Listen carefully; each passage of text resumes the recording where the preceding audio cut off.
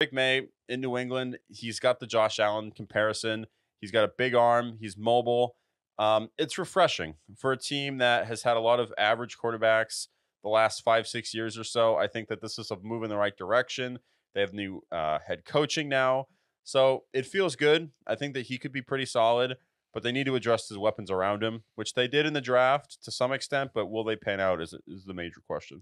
Yeah, for me, it's like it doesn't really matter if they pan out because you still need two other good receivers. Because I think even if you're one two one for two of the receivers you took in this draft, you still need a two, a three, and a four. And then also we're in a situation where Rhamondre Stevenson had one of the best years of his career. He got hurt last year, so there's some question marks with Rhamondre Stevenson. And no, Antonio Gibson is not the answer.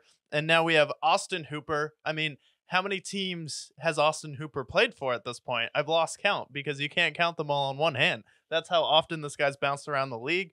And then you have the best version of Austin Hooper on your team, which is Hunter Henry. So you do have some weapons around him, but until you get that guy for him, it's going to be a struggle for the Patriots, and it probably will be similar to Josh Allen, where struggles year one, struggles year two. Then once you realize, okay, we do need to go out there, get a Stefon Diggs, get a AJ Brown, then his career will take off. Because like for me, it's like you still have the ability to go out there and get a wide receiver where Tee Higgins is still asking for a trade.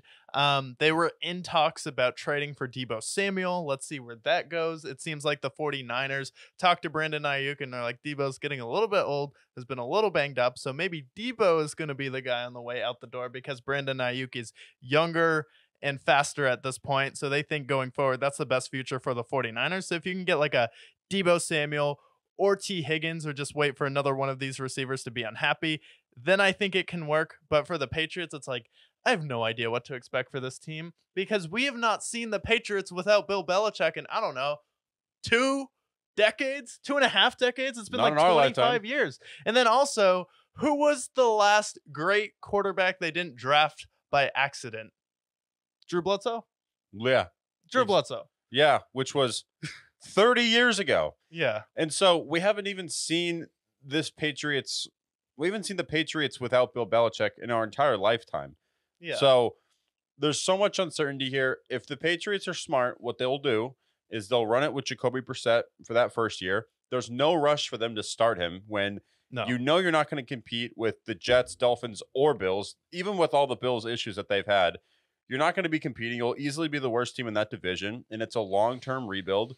So don't play him the first year. Second year, see what you have with him. Let him go through the growing pains, and then get him an actual wide receiver. They say that uh, the 49ers, the current report is either Deebo or Brandon Aiyuk will most likely be gone by 2025. So go after one of these guys. If I had my choice, I would go with Brandon Aiyuk just because of the health. Deebo Samuel is great, but how much wear is on his tires at this point? yeah. Um, but get one of these guys. Maybe it's Tee Higgins. Maybe you sign somebody in free agency, get some weapons around him, and then when it comes time for him to actually play, you have the weapons around him so that he can succeed. Just like you'll see with Caleb Williams, just like you'll see with JJ McCarthy and these other guys. Yeah, and then you just said something too that will never happen. Sign somebody in free agency because there is a tax for sucking that the Patriots are not willing to play. And the rule is, hey, your franchise sucks, your weather sucks. The people, I mean, 50-50 whether or not you like people from New England, but they can suck. The drivers there suck. It's not the best food in the world. It's kind of a co- weird mix of like a college city, and then everyone else thinks the town is the greatest movie ever made. So at this, and then the Patriots just aren't willing to pay that extra luxury tax tax for sucking. So it's either trade for a guy or draft a guy. And you're bad at drafting receivers, at least under Belichick. We don't know this new regime, but you're not going to sign one. And Bill, Robert Kraft is clearly has been a problem under Belichick not being willing to pay. And it seems like part of Belichick's like, okay, get rid of a guy early here was to make Robert Kraft happy.